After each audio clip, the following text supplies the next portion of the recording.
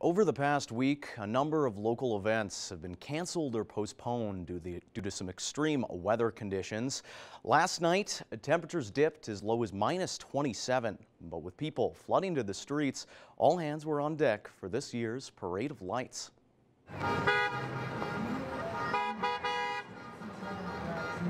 After last year's parade was confined to the parking lot at the Lloyd X, last night's event signaled a return to form for the seventh annual display. The parade also teamed up with Lloydminster's Sexual Assault Services to collect toys for children in need, as parade president Ryan LeBlanc expressed his gratitude. Uh, we've got a number of, uh, of toys and teddy bears that uh, uh we've had uh, brought in already, so we're so excited for that and thankful.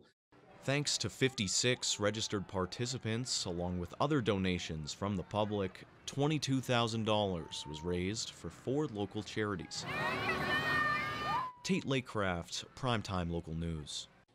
With Christmas right around the corner, Mayor Gerald Albers is encouraging the community to consider giving to local charities this holiday season.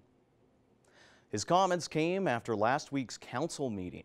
The mayor says Lloydminster has a large number of hardworking nonprofits that are in desperate need of food and toy donations. I know we're a generous community. Year after year, people step forward, and I would encourage them to take the time to stop and support the Olive Tree. The Olive Tree and Salvation Army are both accepting food donations for hampers, while there's a number of toy drives taking place across the city.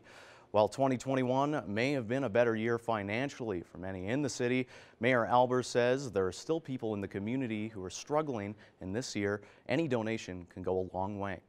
And I want to thank the volunteers that help organize it, the volunteers that staff it, but also to those that donate. Please, we ask with from the bottom of your heart, if you can support someone with just a small donation, it goes a long ways for someone that doesn't have anything. So. A full list of drop-off locations for the 41st annual Gift of Christmas can be found on the Real Country website. With not only the pandemic continuing and the holidays right around the corner once again, domestic violence rates have increased within certain households. Our Shelby Clarke spoke with the Lloydminster Interval Home Society to get advice and resources for those who are struggling.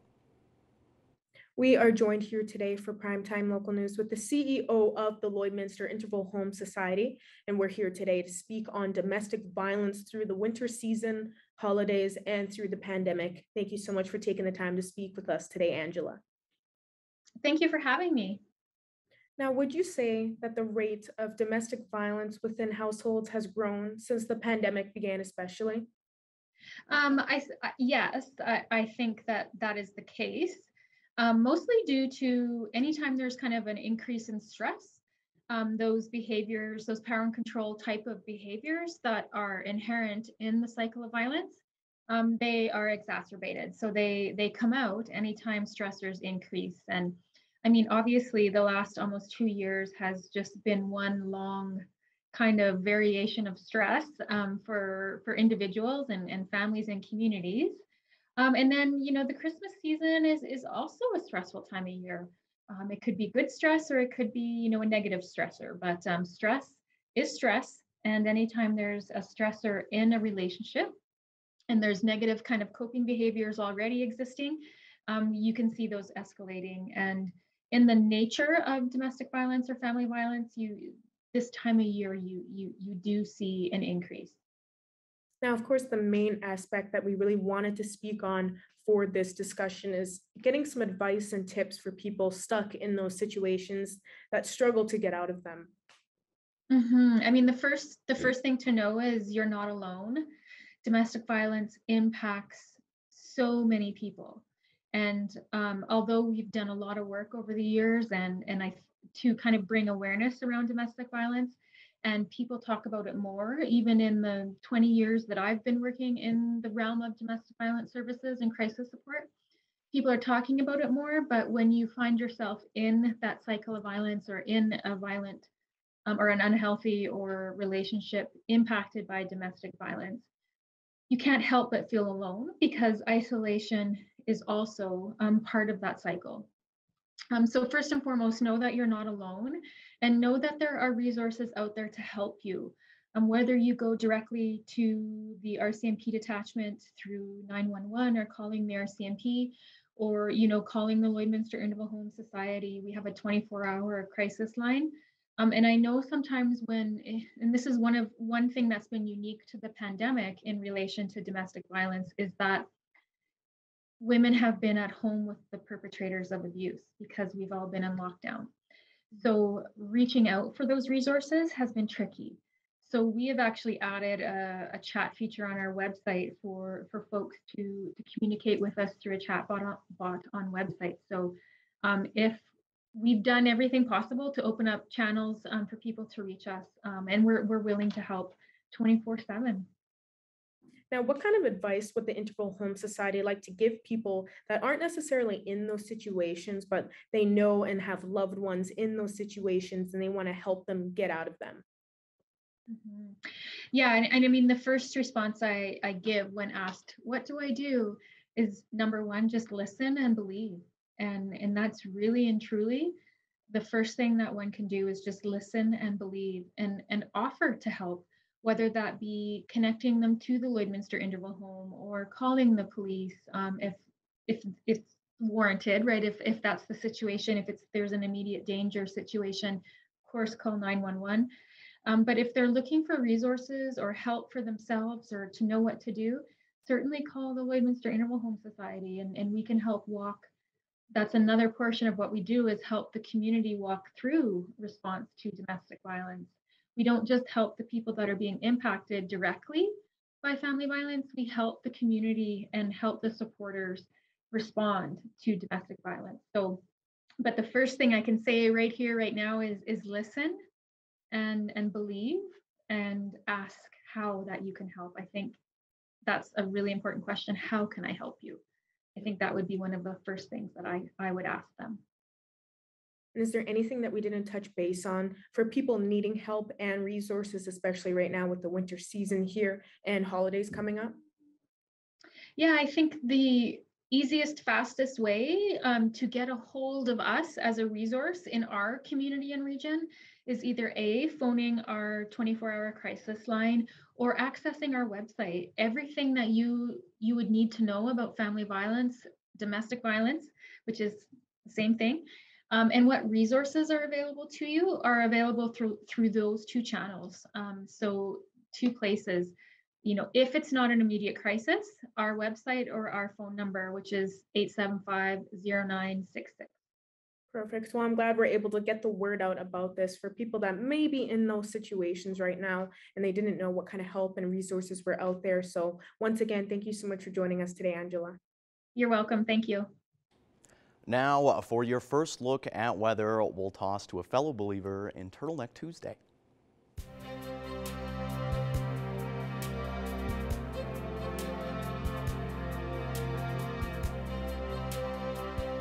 Thanks so much, Tate. Yes, it is Turtleneck Tuesday. Yes, this is going to be a new tradition we're going to start on here. So, you know, Tuesdays are for turtlenecks, so make sure you're wearing one every Tuesday now.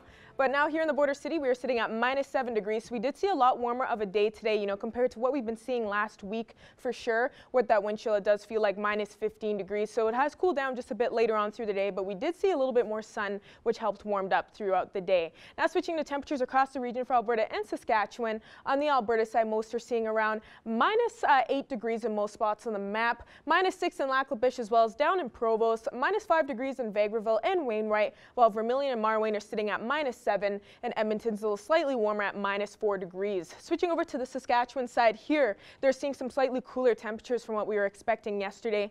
Uh, for today's temperatures, uh, up in Isla Cross and Green Lake, they're the coolest with minus 12, minus 14, as well as in St. Walburg, minus 9 in Meadow Lake and Pearson, it is minus 8 in Maidstone and North Battleford, and Macklin is sitting at minus 7 degrees. But for North Battleford overnight, they will be going down to a low of minus 13 throughout the night, so they are seeing a, a warmer uh, uh temperature for their night. Uh, they're going to be seeing a little bit more cloudier skies. And tomorrow they will be seeing another beautiful day there at minus nine. So not too cool there, but they will be seeing a high chance of some flurries throughout the day.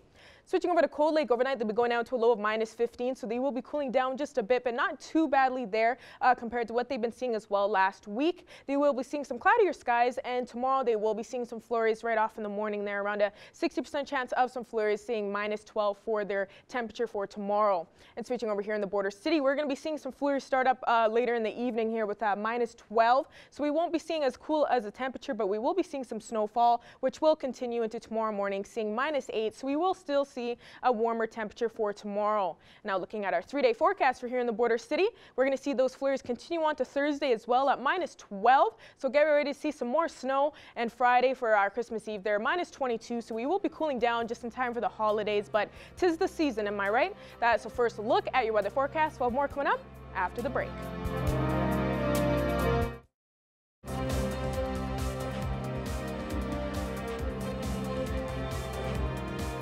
Welcome back. Potato farmers in Prince Edward Island have been dealing with frustrations after Canada imposed a ban on the export of potatoes to the United States. For more on the somewhat surprising reason for the ban, here's Jillian Code. We're frustrated and that we're we want to do everything possible to get this going again and we will do anything that's necessary of us to get it going again. Earlier this week, a convoy of trucks carried half a million pounds of potatoes through the streets of Charlottetown in the hopes of sending a message to the federal government on how a Canadian initiated potato trade ban is impacting PEI farmers.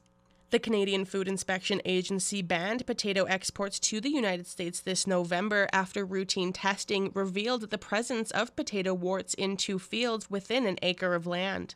And it was located in a field that was in quarantine. The, those potatoes weren't supposed to leave the island. They were going to be processed into French fries, which then leaves them, you know, that there's no danger anymore. Potato warts pose no threat to human health, but are an agricultural pest. The discovery of potato warts in 2000 resulted in a U.S. imposed six month import ban.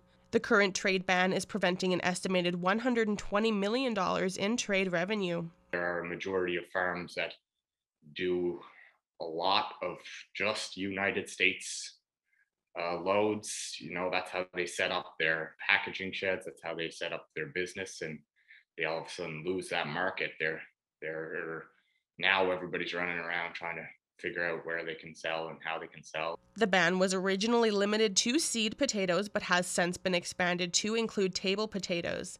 The federal government recently announced $28 million in funding for potato farmers to help ship product cross country to food banks. But farmers say they need the border to reopen. This did one thing that I hardly ever have seen before in my life, and it t- took took away the ambition of a farmer. I've seen farmers lose fields to floods. I've seen farmers, you know, have pest problems in their field where they have tremendous losses and they're usually still positive enough to look forward to the next year and the situation like this kind of mm, destroyed that mm, usual optimism that that you see in the industry some PEI farmers have had discussions with farmers in other countries in an attempt to establish trade and move product. One thing you can do is look for a bag of potatoes that's say grown in PEI. I guess that's that's the main thing I would ask. Jillian Code, Primetime Local News. Now, uh, for farmers and livestock fanatics, here's a look at your agriculture prices.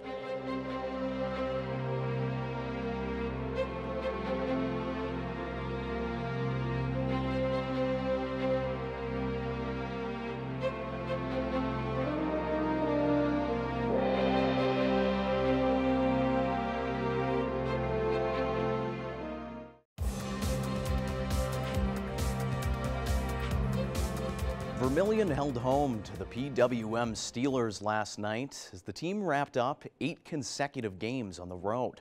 For more on last night's results against the Edmonton Pandas, here's Evan Kenny. Behind me doesn't look like the Servus Sports Center. However, it was where the Lloydminster PWM Steelers called home on Monday night. The Steelers hosted the Edmonton Pandas for their first home game in nearly two months. Yeah, I mean, it takes a toll, obviously. It's nice to play at home, have the home advantage. And I mean, even though this is our home game tonight, it's not at home. So it's, yeah, it gets difficult after a while for sure. The last time the Steelers were on home ice was back on Halloween. It's no trick or treat. The team played eight straight road games. We've spent the last two months on the road, um, not just in our league, but we've also went to a tournament out in Wilcox. So, yeah, it's been a lot of bus time and a lot of hotel time, but they've rallied behind each other. You know, because like I said, playing this many games on the road for this long is not easy. And it hasn't just been tough from an on ice perspective. It's kind it's hard to balance like school and hockey because obviously when we went to our tournament the last weekend we were missing a lot of school so it's hard to keep up with that and like we're not with our parents a lot of the time either so it's yeah it's it gets difficult for sure. The Steelers will play 6 of their final 11 games in Lloydminster and turn the tables on visiting teams. That's that's our goal and that's what we've been talking about is when we do finally get back home is just making it a very hard place to come play right? That when teams show up, they know they're going to be in for a long night. I'm so excited. Like even for Christmas break, just to be at home with my family and like yeah, getting to play some home games will be nice for sure. The Steelers will start the new year on home ice when they host the Red Deer Chiefs January 8th. Evan Kenny, Primetime Local Sports. Tossing again to my turtleneck twin, here's Shelby Clarke with weather.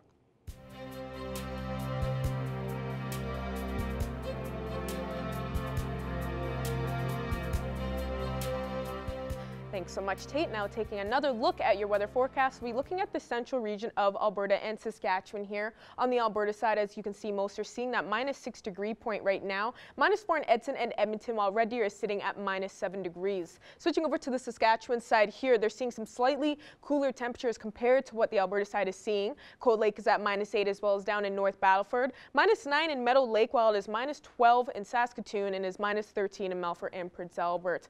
Now switching over to our northern region region of the provinces, they have cooled down quite a bit compared. Usually the northern region is seeing some cooler temperatures compared to the central region. Uh, even in Stony Rapids, they've passed uh, minus 32 degrees right now, so they are looking very cool up in that area there. Uranium City is at minus 26, while Wollaston Lake is at minus 25, minus 19 in South End, while Flin Flon is hitting just hitting that minus 20 mark as well. And La Ronge, Buffalo Narrows, and La Loche is hitting minus 13, minus 14 degrees. Switching over to this side now, they are seeing some uh, a lot warmer temperatures compared to the Saskatchewan side, especially down here in this area. Grande Prairie, Peace River and Slave Lake are sitting at minus 6, minus 7 degrees. It is minus 11 at Fort McMurray and high level, while Fort Chipewyan is the coolest, seeing minus 21. Switching over to our southern region now, they are seeing some, they aren't struggling too bad. As you can see, they're seeing some nice temperatures for today. Lethbridge is even hitting uh, plus 2 right now. Minus 2 in Medicine Hat, though, and Calgary is just hitting that zero mark, while Coronation and Banff are slightly cooler at minus 5, minus 8 degrees.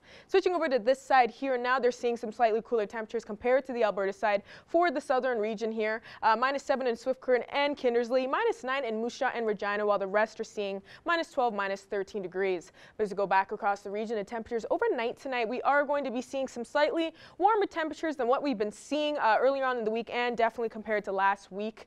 Uh, a low of minus 12 for Murnum and Wainwright tonight, a low of minus 13 that Unity will be seeing, a low of minus 14 for Provost, while Bonnyville and Paradise Hill will be seeing a low of minus 15 degrees. Pearson will be seeing a low of minus 16, while Meadow Lake and Isle Cross will be slightly cooler, seeing a low of minus 19 for Meadow Lake, and Isle Cross will even be seeing a low of minus 23. But most spots will be seeing some cloudier skies throughout the night, while most will also be seeing a high chance of some flurries. And now switching over to temperatures tomorrow across the region, some, some of those spots will have those flurries continue on throughout the morning into tomorrow, while we're ranging mostly from around minus, uh, 8 to minus 12 degrees in most spots on the map. Over on the Saskatchewan side, though, Isle Cross and Green Lake will be seeing some cooler temperatures once again with minus 18 in Isle Cross and minus 14 in Meadow Lake and Green Lake for tomorrow. And now switching over to our seven-day forecast for here in the border city. We'll be seeing some warmer temperatures, uh, minus 8 for Wednesday, but we will be seeing those flurries continue through Wednesday, Thursday.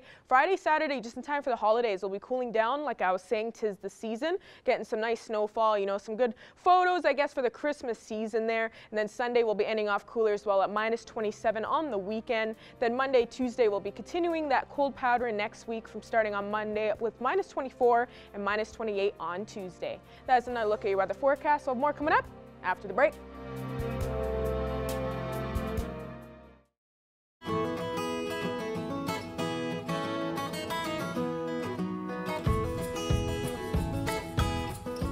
Welcome to this edition of Pet Project, everybody. We're joined once again with Becca Lawrence from the Lloydminster and Community SPCA. Becca, how's everything going over there this week? It's going really good. We're we're good and busy with our uh, adoption event, so we're we're busy this week, but it's a good thing. yeah, so we were chatting a little bit off camera about that. You guys are coming in here at the end of the year. We're, we're going to pull off one more adoption event. So why don't you tell yeah. everybody about that and just kind of the, I know we, we're going to showcase some of the animals here. And yeah, yeah it's going to be an exciting event. So let the people know what they can look forward to. Yeah, so we are doing our adoptions. Of course, uh, now that I'm thinking about it, I can't quite remember our prices but our adult cats are 50 i know that and the kittens are 125 i believe.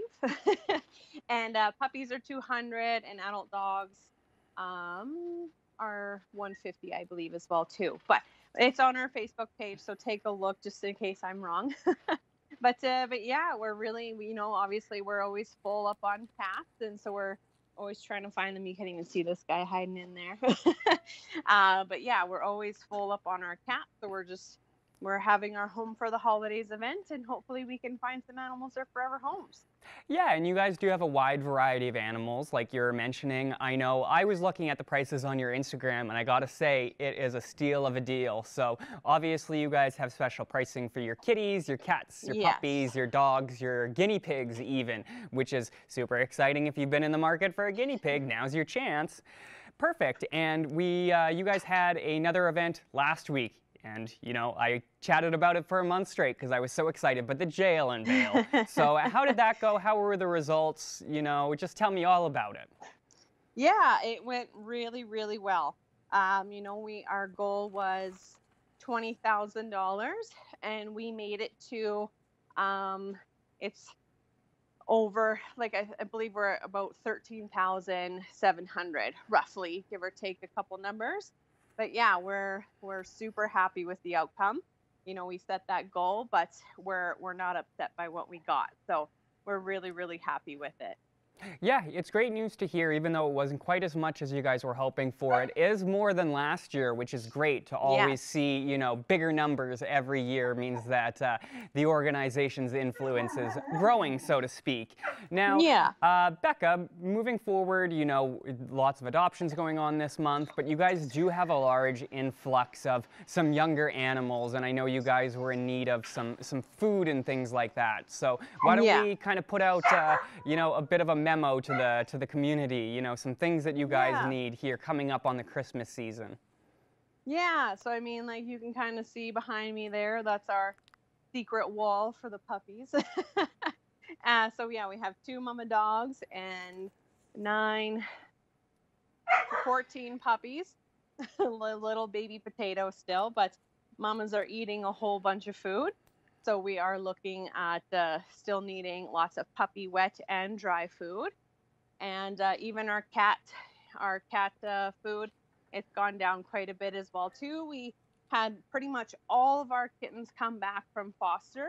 So we have tons of little babies, you know, that are all eating their wet food. And oh, well, different here. Here we go. yeah, so we got tons and tons and tons of babies that are all chowing down on all their food. And uh, yeah, we just really want to make sure that they have all the extra nummy stuff for the over the holiday season if uh, they can't find their home before that kind of thing. So we're just trying to stock them up and make sure they have all their all their good stuff which fingers crossed with this adoption event, lots of those animals find their forever homes. And you did yeah. mention back uh, fostering that a lot of the kittens have come back. I'm assuming that means obviously you guys are looking for some new fosters in the future as well? Yeah, and I mean, we think that, you know, our current fosters, they'll foster again. But, uh, you know, obviously everyone's going to be taking a little bit of a break over the over the holiday season, I think. And uh, like I said, like most of these are all these kittens are ready to go now. So, and we haven't, knock on wood, haven't had much for kittens coming in again. So that's nice. But, uh, you know, we are looking for fosters for our, um, our mom and puppies. So if there's anyone that is willing to, you know, take that on in their life, we're definitely looking for fosters for that. Perfect. Well, obviously, if anybody out there is in the market, you know, you're not going to get a better deal on a little kitty or a puppy or a cat or a dog or a guinea pig anytime soon. This is the chance yeah. to stop by. So that's unfortunately all the time we have for this week, Becca, but I want to thank you for stopping by. I want to thank all of yes. our viewers for checking us out, and we will catch all of you again in the new year. Yes, for sure. See you in the new year. Manage your waste and recyclables with Quick Pick Waste Disposal. Call 780 875 4100 today or visit quickpick.ca.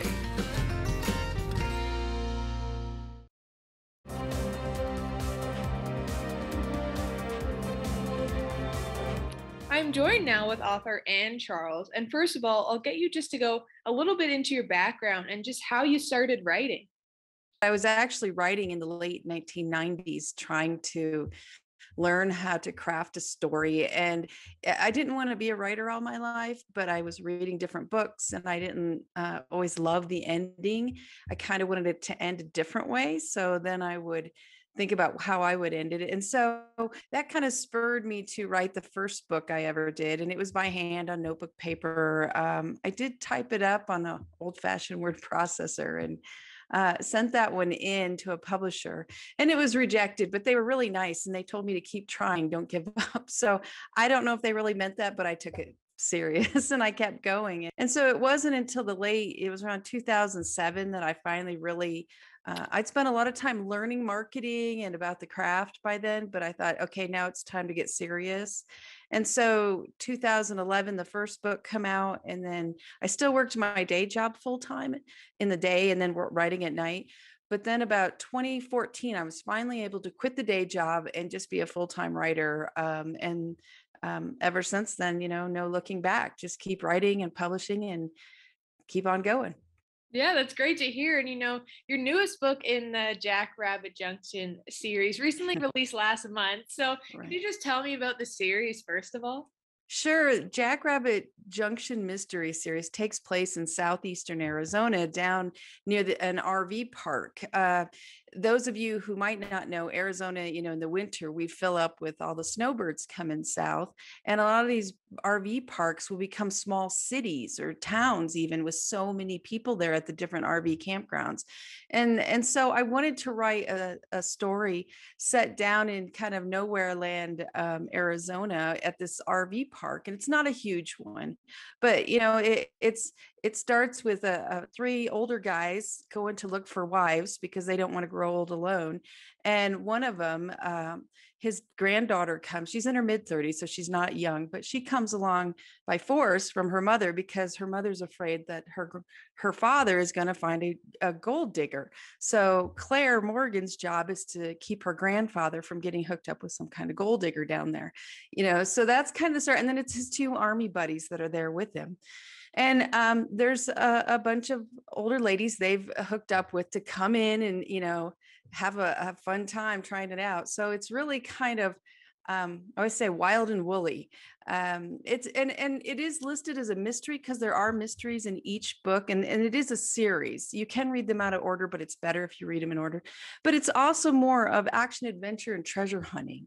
So I I often read Treasure Island before I get back into that series to kind of refresh my brain. Um, so it's it's a fun adventure action you know mystery suspense with some romance and a lot of humor in it. And with the newest release uh, jingle balls can you just tell me a bit about this uh, christmassy style yeah. book? so this is the the cover i'm not sure how that if that shows okay but um yeah so this is not your typical um warm and cozy christmas story. It is a novella um, it's the theme is is based around divorce and uh, if anyone's come from divorced um, families or divorced themselves uh, I'm, I'm that on both counts. You know that holidays after a divorce aren't always the smoothest thing and there's a lot of emotions involved uh, and so this is the story of the three morgan sisters with their mother who has recently divorced their father. So they're again they're in their 30s so they're not kids but their parents were married over 30 years and and this is a bit of a traumatic thing for their mother who's not the easiest woman to live with. And so their mother is struggling with uh, what's going into all this you know divorce and being on her own now um, and uh, the father, their father is coming down for the first time to Southeast Arizona, where they're all at, and dropping in like Santa to see them and bring them gifts. And it's causing some real ripples across everything. So yeah, it's kind of crazy. It's it's a it's I, I don't know other than like I said, wild and woolly and crazy. It's not warm and fuzzy, but it's fun. And and for the fans of the series so far, um, most of them I'm getting I mean, everybody that writes me, they just they love it. They think it's funny, and so uh, that's what my goal was was to fit it in with the series and make it feel like the series does, and also to give the fans who love the Morgan sisters something more to read and and have fun with over the holidays. So, if anyone is looking to purchase any of your books, where should they go?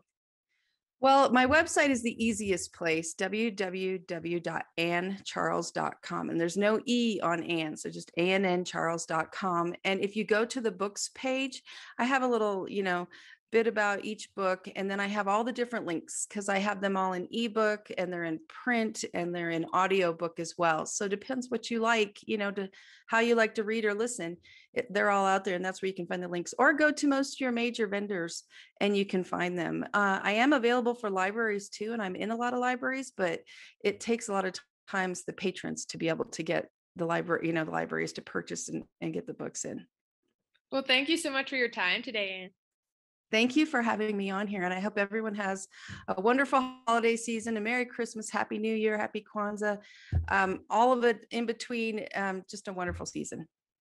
And now ending off with taking another look at your seven day forecast here. We'll be seeing some snowfall throughout the week on Wednesday, Thursday. Friday and Saturday will cool down just in time for the holidays. Minus 22 on Friday, minus 28 on Saturday. So make sure you are plugging your vehicles, bundling up outside and enjoying those holidays while you can. Sunday will end off with minus 27 with some more snowfall. And starting off next week, we'll continue that cool pattern with minus 24 next Monday and seeing some more snowfall at minus 28 next Tuesday. Thank you very much, Shelby. That is all the time we have for right now, though. So if you want to catch some more news, you can stay tuned for the next hour. For right now, I'm Tate Lakecraft, and have a good one.